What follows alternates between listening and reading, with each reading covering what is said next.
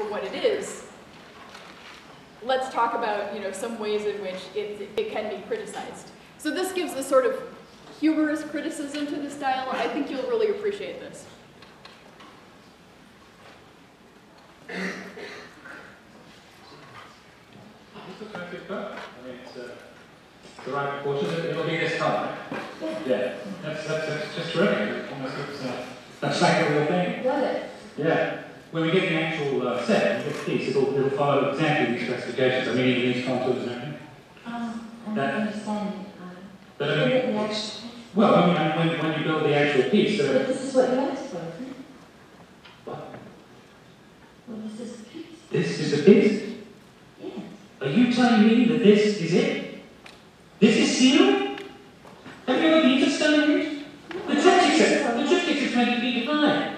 You can stand four men up. Yeah, I was, I was, This is, this is insane. Yeah. This is ceiling. Look, look, look, this is what I was asked to do. 18 it specifies 18 inches.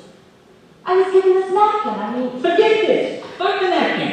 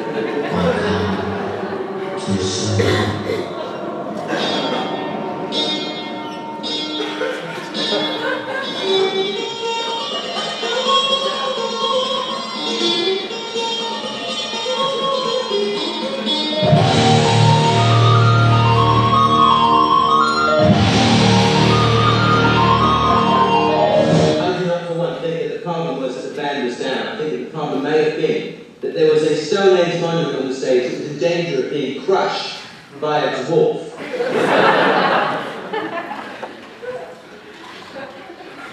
All right, I'm going to wrap up by trying to say something really complicated in a condensed way. But progressive rock came, you know, kind of came into its own and carried relevance to a certain group of people in a time and place, and still to us today, but for different reasons.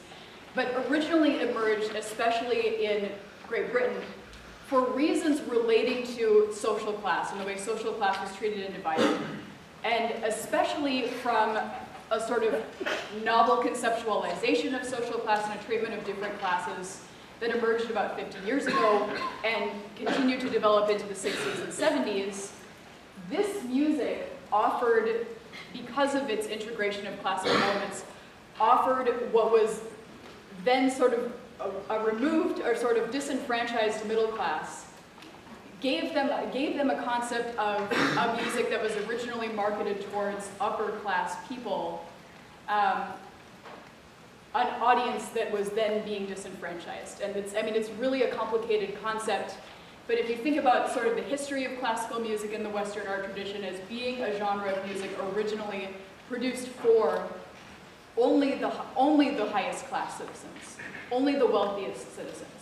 That to have that classical music element brought into a genre that was originally for lower class people. We saw that from the emergence of music, of, of um, R&B and country and so forth, these points of origin being originally marketed towards lower class or lower income brackets. That to combine those two was somehow empowering to the, to the essential audience of this music in the late 60s and 70s.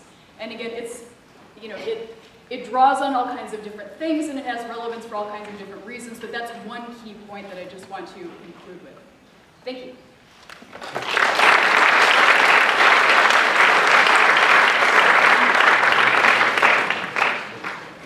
Great, thank you. Um, so while Gina gets set up, um, gets set up, again, just to kind of reiterate, because now the comparison that we're going to see in relation to this potentially kind of overly complex form of music with progressive rock, that seems very progressive, and that for many people at the time seemed to bear very little resemblance to anything rock at all. This complexity of the music um, is kind of moving in parallel with kind of um, a, a style of music that is kind of doing the exact opposite.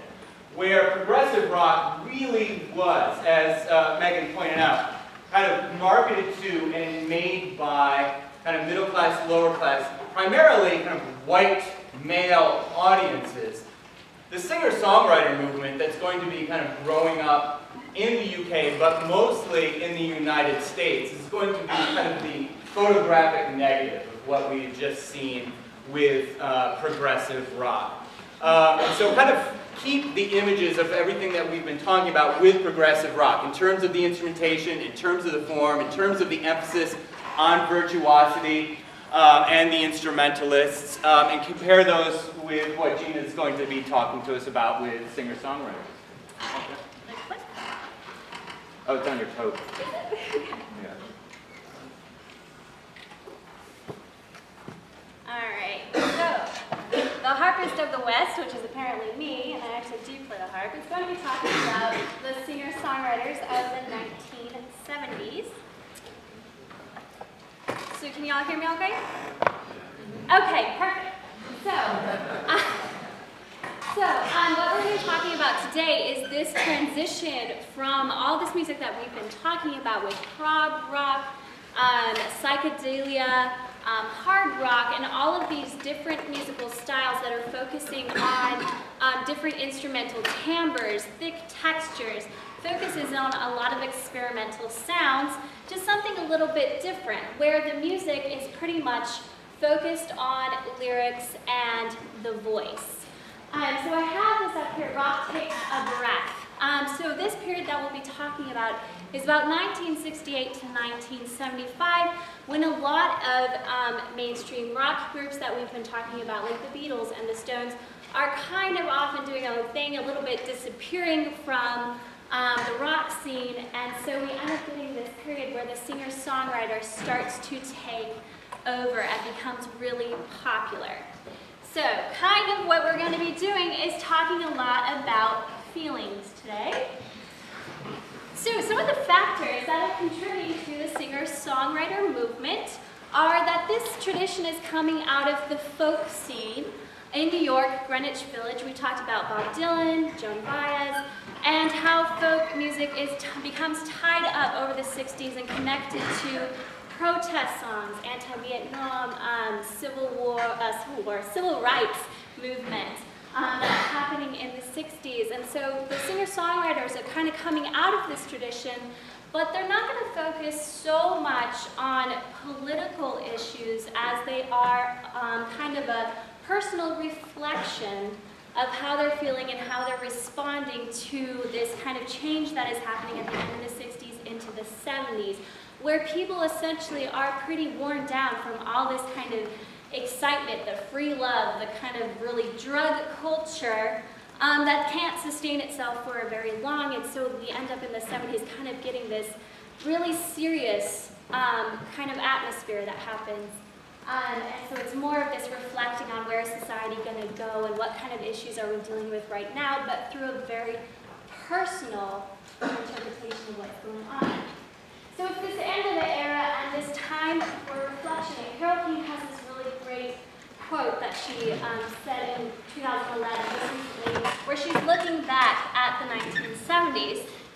So there's all this generational turbulence of the 60s, cultural turbulence, and there was a hunger amongst audiences for this intimacy, the personal thing that the singer-songwriters do. So connecting again to those emotions and those feelings. So a lot of the songs that we're going to be talking about are focusing on storytelling, again connecting to kind of folk with telling of ballads, but we're going to connect and make these long um, kind of narratives of telling stories about life, autobiographical stories, so it's going to come from a very personal space. The singer-songwriters are going to share their kind of what's happening in their life and connect it to you, their listeners. So there's a lot of autobiography work. Um, the sense that these songs are very authentic because they are coming out of the person that is actually writing the song is singing them. So if we